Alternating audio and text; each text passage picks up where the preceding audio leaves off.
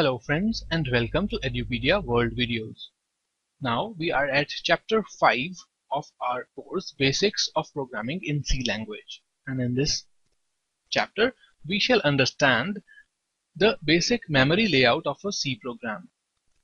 So after this chapter we will be ready to start actual coding in C.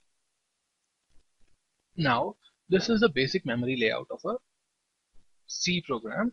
Okay, this is known as the process control block. So most of the operating systems run the programs as processes.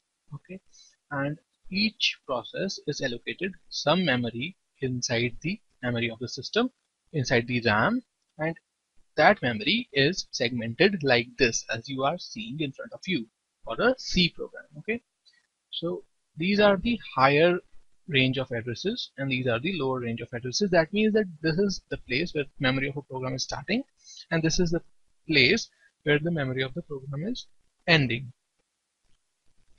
So each of these segment has a specific purpose. The lowest one is the code segment okay? As its name suggests it stores the code of the uh, it stores your source code okay? Then there is initialized data segment we will learn what is it what it stores but for a summary just remember that it stores the initialized global and static variables. Then there is the initial uninitialized data segment. This stores the uninitialized global and static variables. Then we have heap and stack okay? So this is whole where other variables are stored. And this is divided into two parts. One is heap and one is stack. So heap grows from lower addresses towards the higher addresses. And as you keep on adding more and more variables to into heap it will keep on growing. Okay this portion is empty. And your stack grows towards the bottom direction. So as you add more and more variables to the stack it will keep on going towards from the higher end to the lower end. And once these two meet that means that your program is now exhausted by memory. So OS allocates only a particular amount of memory to a program. And if that memory is exhausted then your program has to die. You have to keep in mind that you never overrun the memory of your program okay? Now this is the external data segment that will control the command line arguments that uh, that are passed to a process. This we will learn later and the environment variables that come from the OS environment okay? So the description of the segments is here now and we shall start from the topmost segment that is the external data segment.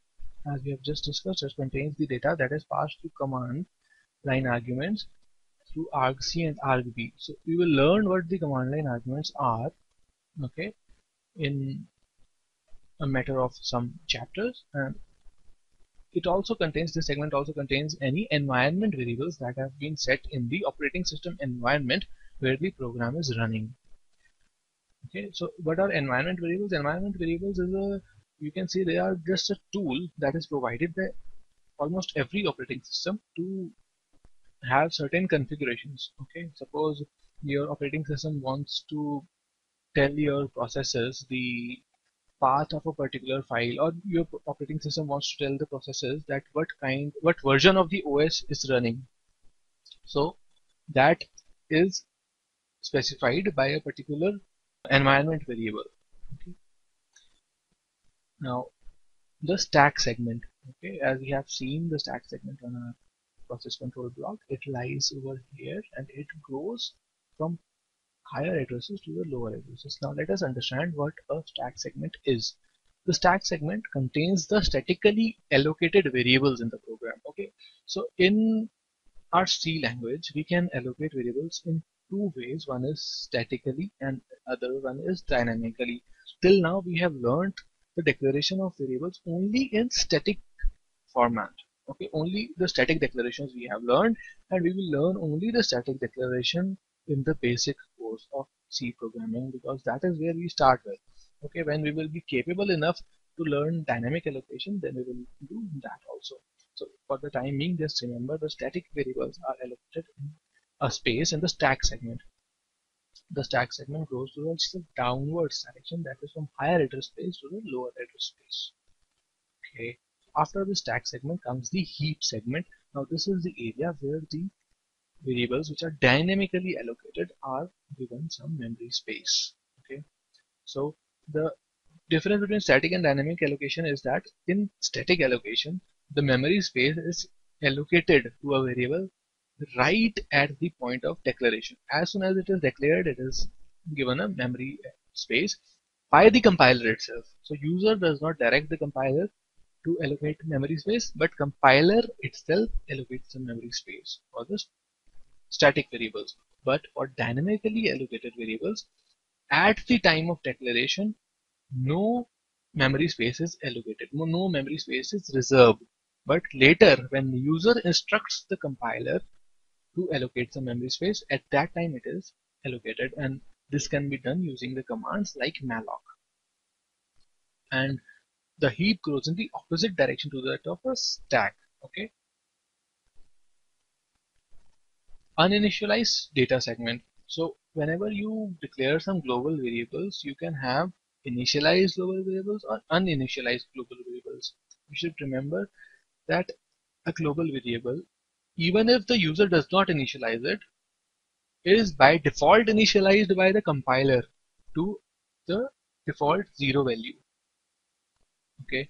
So if you have not initialized it yourself that variable will be allocated some space in the uninitialized data segment and compiler will on uh, running your code it will initialize it to zero. Okay? And after that we come to the initialized data segment. This segment contains the global and static variables which are explicitly initialized by the program by the programmer to their initial values. For example int var1 is equal to 10 so here we have initialized it on the declaration itself and this should be declared in the global scope. Only then the compiler will allocate a space for this variable inside the initialized data segment. Uninitialized data segment we can see in the example that int a. Okay, we have not initialized a with any value, but we have declared it. So compiler will allocate a space for this in the uninitialized data segment. Okay, so thank you for watching the video and uh, I hope you continue with the course Basics of Programming in C language. Have a nice day.